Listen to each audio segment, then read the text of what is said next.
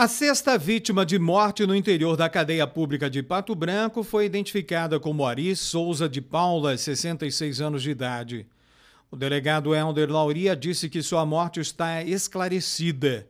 Ele estava preso há um dia por homicídio e aguardava a avaliação médica em cela isolada. Essa morte foi um pouco diferente das demais. A princípio, realmente foi um suicídio até porque a vítima estaria numa cela sozinha. Né? Então, é, com certeza ocorreu um suicídio é, que foi encontrado ali pelos agentes. A sua prisão teria ocorrido por que razão? Por crime de homicídio, era um mandado de, de prisão do município de Mangueirinha.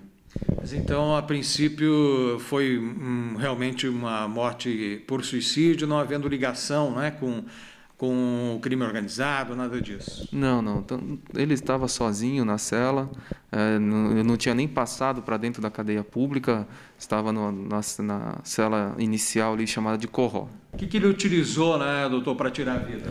Bom, ele acabou utilizando o cobertor que tinha sido fornecido a ele para se cobrir.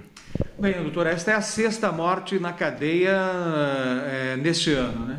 Sim, as outras cinco foram em circunstâncias um pouco diferentes, foram dentro mesmo da cadeia pública e algumas com autoria já identificada e outras, outras duas, as duas últimas, ainda estamos em investigação.